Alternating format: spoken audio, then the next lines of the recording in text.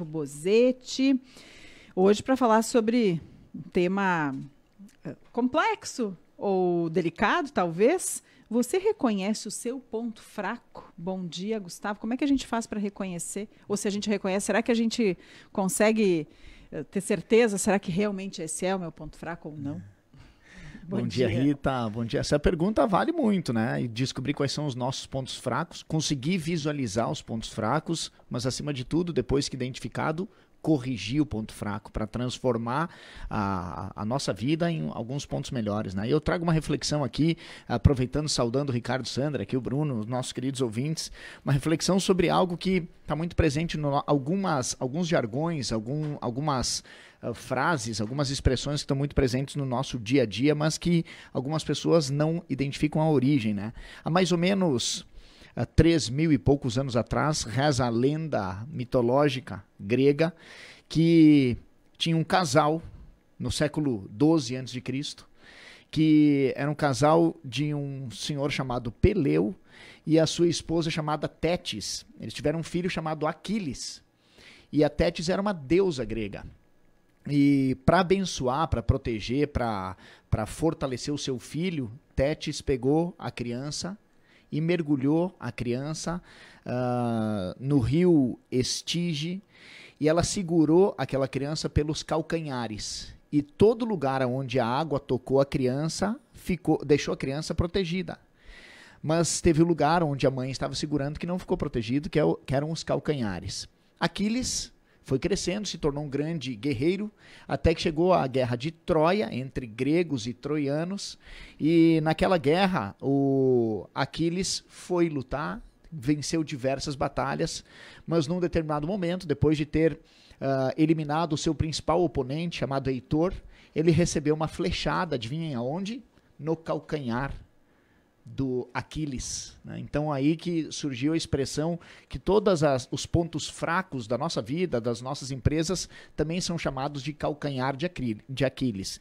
E eu estou falando isso porque é, todas as empresas têm, têm um ponto fraco. Um, o ponto mais frágil. E nós sabemos que a tensão de uma corrente é medida pelo elo mais fraco. Então nós precisamos fortalecer aquele elo mais fraco para que todos os outros elos também sejam valorizados. E na nossa vida é muito semelhante, porque nós temos que identificar quais são os nossos pontos fracos e aí sim efetuar a correção desses pontos fracos. O tendão de Aquiles ele é considerado um dos tendões mais fortes do organismo, mas ele também é, é considerado um tendão que fica exposto, né? E quando ele se rompe, ele, ele acaba machucando. É, é, é difícil a, a, regeneração desse ponto fraco. E nas nossas empresas também tem pontos fracos que nós precisamos identificar, porque talvez este seja o gargalo das nossas organizações. Então, identificar qual é o nosso ponto fraco e corrigir esse ponto fraco uh, pode fortalecer toda a organização. Como se faz? A Rita começou com uma pergunta muito interessante, né? Como se faz para identificar o nosso ponto fraco? A melhor forma é sendo sincero, é perguntando para quem pode uh, contribuir, é pedindo ajuda. Eu sempre digo que o ato de pedir ajuda é um ato de grandeza, é gerando indicadores chave de desempenho, de performance, o que o mercado chama de KPIs, né? Key Performance Indicators, para que esses indicadores possam revelar onde estão os pontos fracos, para que depois a gente possa fazer movimentos para corrigir esses pontos fracos. E nós sabemos que no mundo corporativo tudo pode ser tangibilizado.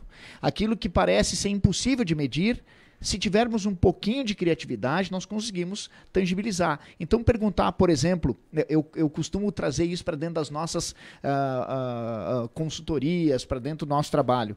Quantas vezes o empresário pergunta, o lojista, por exemplo, quem está no varejo, quantas vezes este lojista pergunta para o cliente que sai da loja sem comprar, por que, que ele saiu sem comprar? É, a, a, às vezes a gente pergunta para o cara por que, que ele comprou. Às vezes a gente pergunta o, o, dentro da abordagem comercial. Agora, aquele cara que entra, o cliente que entra, dá uma olhada e sai sem comprar, ele tem uma informação importante. Ele pode estar tá saindo sem comprar porque ele veio só dar uma espiada Agora, ele pode sair sem comprar porque o concorrente está fazendo um preço, uma condição melhor. Ele pode sair sem comprar porque ele não identificou, não encontrou o que ele estava eh, procurando. Ou ele pode sair sem comprar porque ele foi mal atendido. Talvez aqui esteja um calcanhar de Aquiles. Ou seja, identificar os nossos pontos fracos é uma bela de uma receita para que a gente possa ir fortalecendo as áreas e os pontos que são importantes para a nossa empresa. Né? É, e acompanhando na semana passada o Reload de Lojas Hit, um dos palestrantes ele, ele citou a situação mais ou menos nessa linha, de o cara entrar na loja e sair sem comprar ou dar uma olhada. E eu sou um, vou dizer, muitas vezes eu entro na loja, não preciso que venha lá algum vendedor e fique ali comigo, ah, o que que tu quer, posso te ajudar, isso aqui vai ficar bem. Não, deixa que eu tô olhando, eu, eu sei o que que é. E aí ele, ele citou, esse palestrante, ele citou que muitas vezes teve uh, funcionários que dizem assim, ah, como é que eu faço para abrir o cliente? Ele disse, não, não precisa abrir o cliente. Tem cliente que quer ficar fechado, é o jeito dele. Ele não precisa que tu fique ali fazendo uma piada, alguma coisa. Tu tem que saber analisar. Isso vale para uma loja de roupas, né? Para uma, uma loja no dia a dia, mas vale para outras situações também.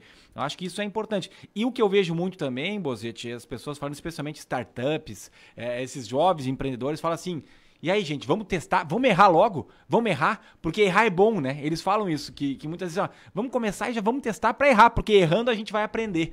Então é, é, saber lidar com isso e não achar que, ah, erramos, agora está tudo errado. Não, muito pelo contrário, hoje em dia se mudou esse conceito, né? É, tirar proveito do fracasso, né? Só tem que um, eu, eu, eu, costumo dizer que uh, cada fracasso carrega consigo a semente de um sucesso equivalente. Isso é frase de Napoleão Hill de 100 anos atrás. Ou seja, aproveitar, não dá tem pra ficar errando, errando, errando e não acertar Exato. nunca. E, não e dá, tem né? outra coisa que é importante, que eu falo muito, tem que tomar cuidado para não cair na armadilha de comprometer a reputação da tua organização ao errar, errar, errar. Boa. Então tem que criar um ambiente dentro da organização onde aquele erro seja estancado e ele não vá para o mercado. Né? Por, quanto custa, por exemplo, para uma empresa tradicional como uma, uma montadora de automóveis, quanto custa um recall?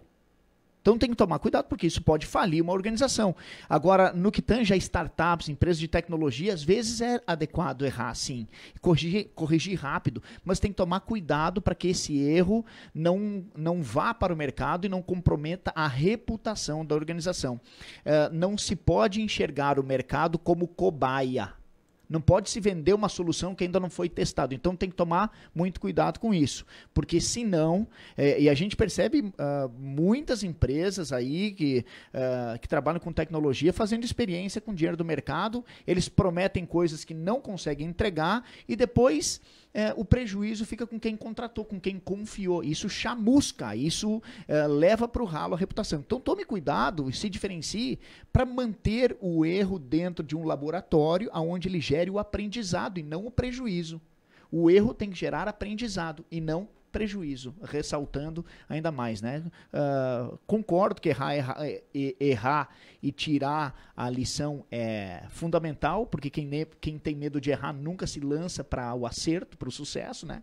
Mas ah, preservar as consequências do erro talvez seja importante eh, relevar também, né? E não se acostumar com o erro, né? É isso aí. O Grupo Independente, Rádio Independente, está completando 72 anos no próximo sábado acham que a gente não errou, erramos e erramos muito e continuamos errando, mas é aprendendo com o erro e tentando fazer sempre o melhor aí para levar a melhor informação, a comunicação assertiva aí para quem está do outro lado. Ricardo, só uma frase. O tempo é o maior de todos os inquisidores. Tem gente que está na moda agora, mas e o futuro? Será que eles vão conseguir sustentar a grandeza ou o tamanho que eles têm? Então, eh, permanecer na moda, que nem o grupo independente uh, faz, é, é, é algo louvável e admirável. Admiro muito. Parabéns. Tá certo, muito obrigada. Gustavo Bozetti, diretor da Fundação Napoleão Rio e Mastermind Rio Grande do Sul. Participa conosco sempre às quintas-feiras do quadro Direto ao Ponto, que tem o patrocínio de Heineken Tecnologia em Higienização. Atuamos no desenvolvimento de produtos e processos para higienização e desinfecção, suprindo as necessidades de diversos segmentos. Nossa missão é cuidar de pessoas e do meio ambiente. Saiba mais em heineken.com.br ou acesse nossas redes sociais Heineken Química,